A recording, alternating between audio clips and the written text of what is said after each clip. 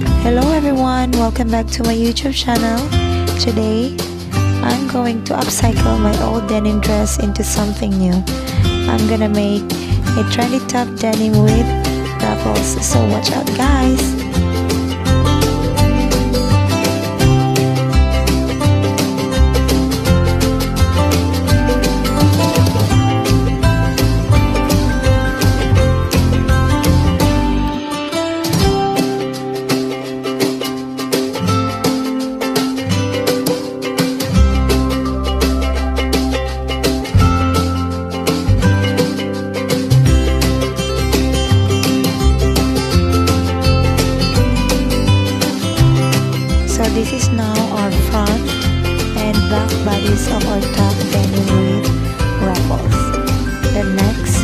Have to cut a 4 pieces of strips that is used, used for our strap.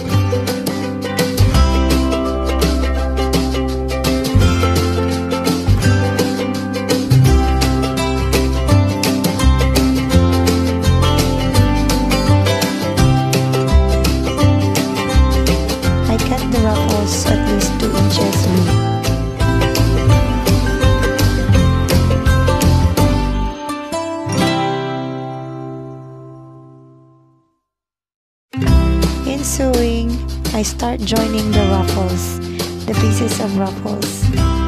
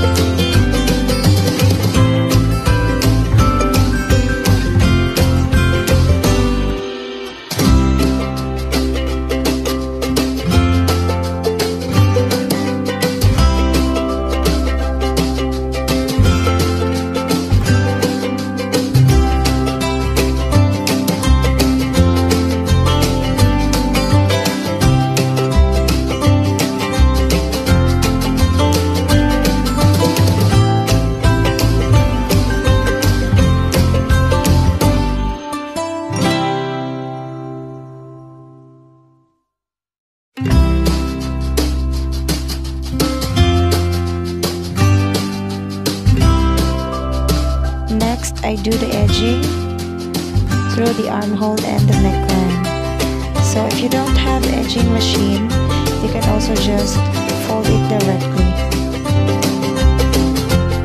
Anyway, denim fabric won't get easily